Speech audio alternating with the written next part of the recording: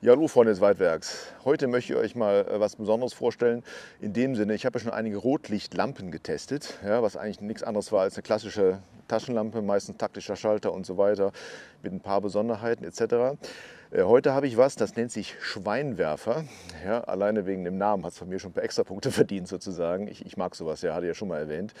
Und zwar hat das ein Jäger entwickelt, ein österreichischer, und äh, der baut das Ganze auch.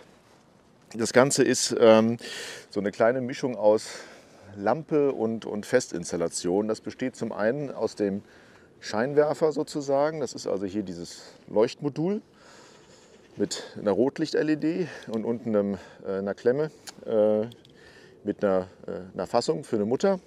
Und das hinten ist quasi, was aussieht wie ein Audiokabel, ist ein Stromkabel.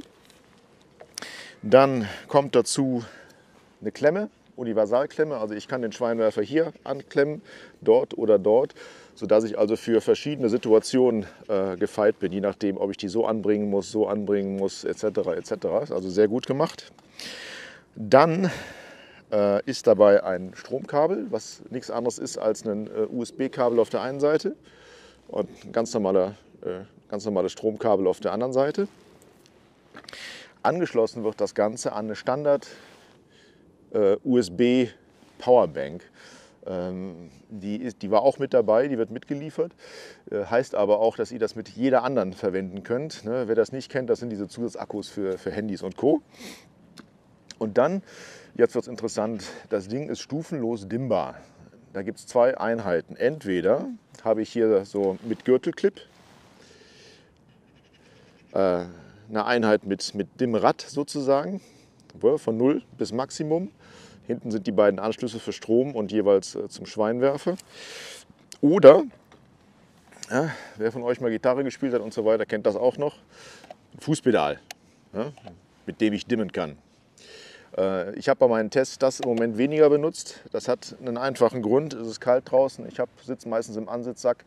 Da wäre es mit Pedalen ein bisschen schwierig gewesen. Also ich habe die meiste Zeit äh, das Ding hier benutzt. Die Entwicklung von den Dingen äh, ist eigentlich ziemlich genial, aus verschiedenen Gründen. Ne? Zum einen ist es stufenlos dimmbar. Ideal ist der Schweinwerfer für mich äh, für die typische Kirrung, weil ich den fest montiere.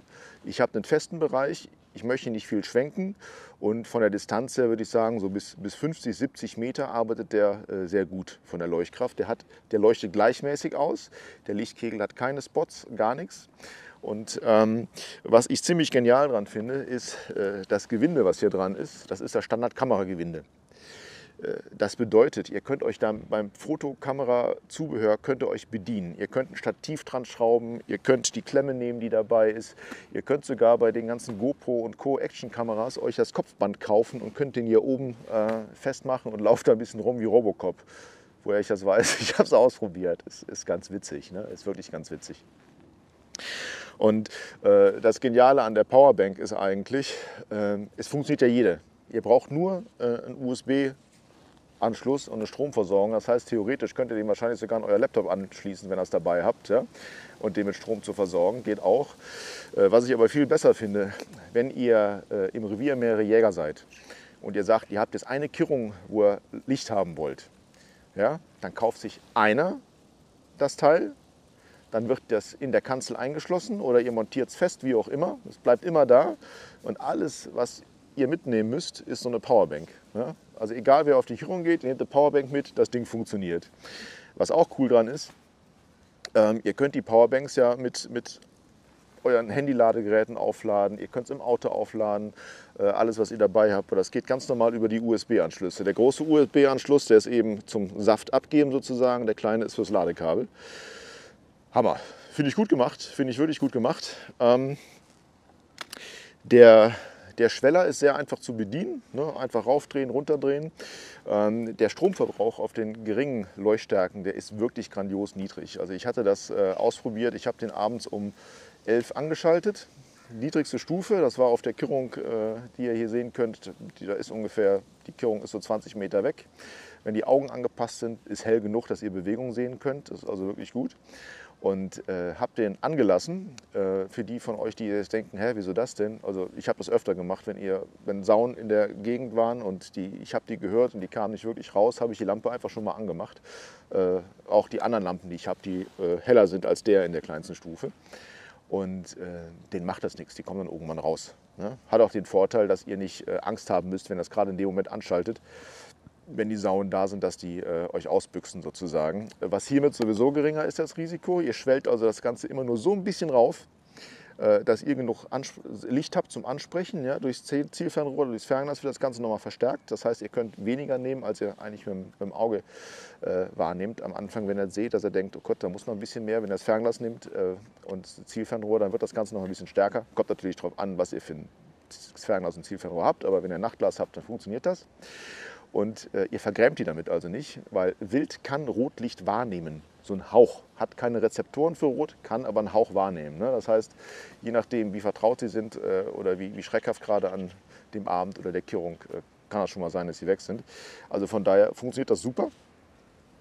Ähm, dann muss ich sagen, von der, äh, vom Stromverbrauch, da war ich ja gerade. Ich habe den also angelassen von abends um 11 bis, bis morgens um 5, 6 Uhr. Als es gerade hell wurde, äh, das war jetzt äh, Anfang Februar, äh, je nachdem, wann ihr dieses Video seht, da war also noch genug, genug Saft drin. Ne? Das war also überhaupt kein Problem. Und das Schöne ist, das Ding hat eben einen Jäger entwickelt, der hat sich da wirklich ähm, Gedanken gemacht.